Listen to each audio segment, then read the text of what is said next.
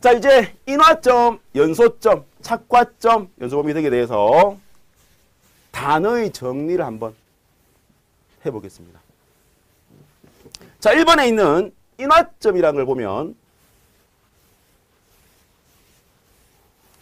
그리고 지금 어, 설명드리는 이 내용들은 교재에서 포함된 부분들은 여기에 나와 있는 경우가 있어서 상관이 없겠지만 혹시나 설명에서 빠지는 부분들은 교재에 있다 하더라도 그냥 빼고 보십시오. 음, 시험과 관련 없는 부분이니까 요것만 보시면 되겠습니다. 자, 인화점.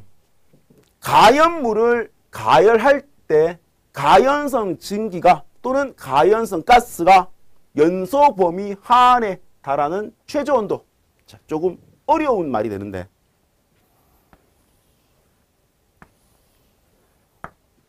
이 그림 한번 보겠습니다. 왼쪽에 있는 원은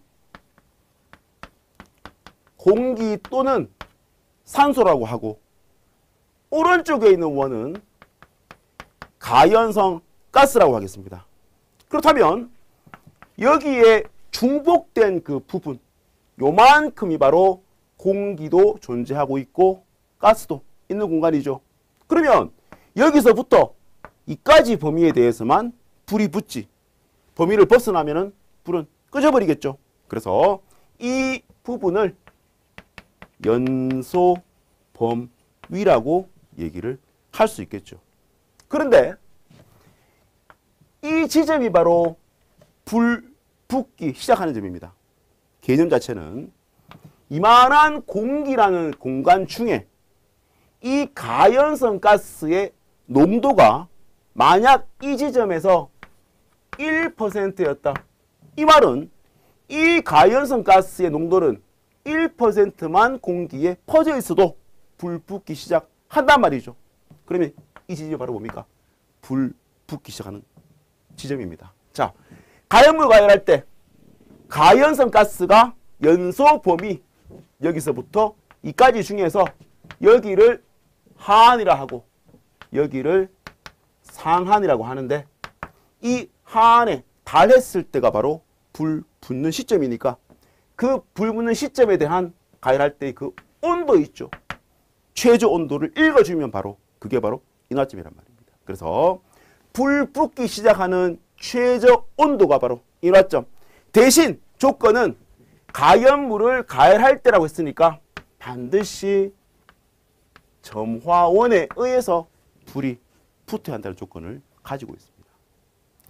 한편으로는 3번에 보시면 착화점 또는 발화점이 있는데 자 얘는 가연물을 가열을 하되 점화원이 있든지 없든지 상관이 없이 그 직접적 원인이 점화원이 아니라는 겁니다. 점화원 없이도 가열된 열만을 가지고 스스로 열을 모으고 있습니다.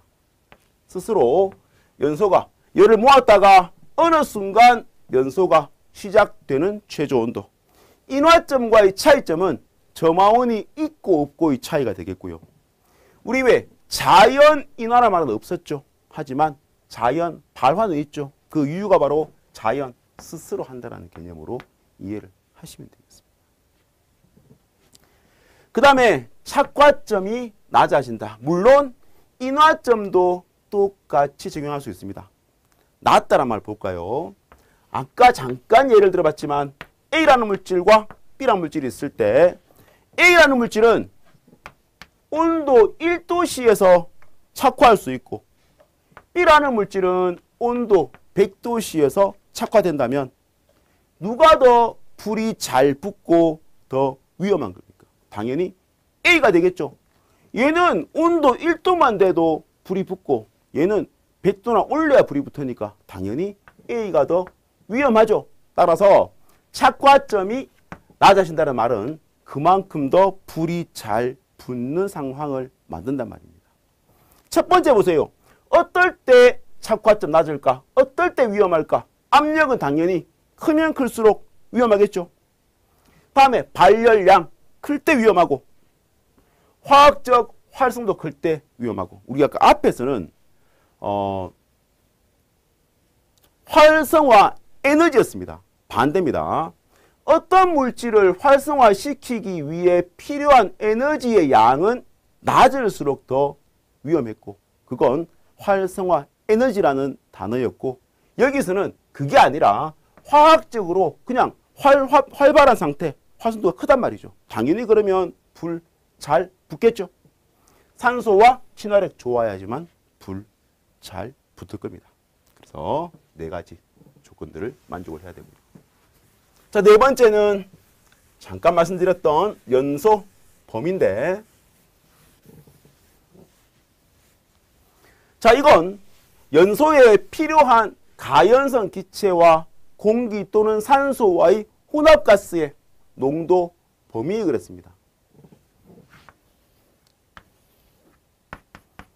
자, A라는 물질이 연소 범위가 예를 들어서 1에서부터 50%라는 물질이 있고 B라는 물질은 4에서 57%라고 하는 물질이 있습니다.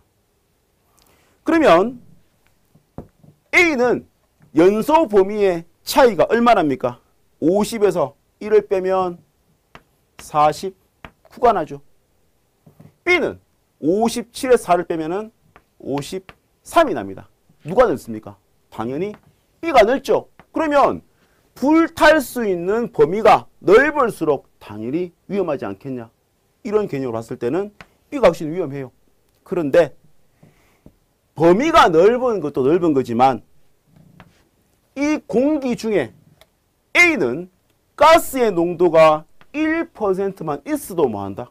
불 붙을 수 있고 B는 4% 있어야 불이 붙으니까 이건 또 어떻게 설명할 거냐 얘기죠. 그래서 이 부분에 대한 판단이 애매하기 때문에 위험도라는 공식을 이용해서 값을 구하면 됩니다. 자, 공식은 자, 이건 실제 실기시험 문제 기출에 나오는 내용입니다. 꼭 외워둡니다. 자, 위험도는 연소 하한분의 연소 상한 마이너스 연소 하한이라는 겁니다. 자, A 한번 구해볼까요? 자, A는 위험도가 연소 하한이 1입니다. 자, 1분의 상한은 50이죠. 50 마이너스 1은 49가 바로 위험도가 되고 B는 4분의 57 마이너스 4가 됩니다. 그러면 당연히 53을 또 4로 나눠주는 거니까 얘가 훨씬 더 크단 말이죠. 따라서 범위가 넓은 것도 넓은 거지만 연소 하한이 낮을수록 더 위험하다는 부분이 클 수 있다는 얘기입니다. 그래서 꼭 위험도 공식 외워서 계산할 수 있도록 하시면 되겠습니다. 자, 지금 여기는 제가 예를 든 물질들이고 실제로 기출 문제였습니다. 사료 위험을 해보면은 제1세균류의 휘발유 또는 가솔린입니다. 자, 걔는 연소 범위가 1.4에서 7.6%입니다. 휘발유의 위험도를 구하시오가 3점짜리 문제로 많이 나왔다는 거죠. 연소 하한은 1.4가 되고 상한은 7.6이 되니까 여기서 또 하한을 1.4를 빼주면 값이고요. 4.43이라는 값이 나옵니다. 그런데 어, 질문을 좀 많이 하는 부분 중에 하나가 뭐냐 하면 혹시 위험도의 단위가 뭡니까? 라고 묻습니다. 이 상한은 어쨌든 연소 범위는 퍼센트라는 거죠. 여기도 퍼센트, 퍼센트입니다. 이것도 퍼센트, 퍼센트, 퍼센트니까 결국은 분모도 단위는 퍼센트고 분자 단위도 퍼센트니까 단위는 없다란 말입니다. 자, 위험도는 수치만 가지고 얘가 크면 클수록 위험하더라. 이렇게만 정리하시면 되겠습니다.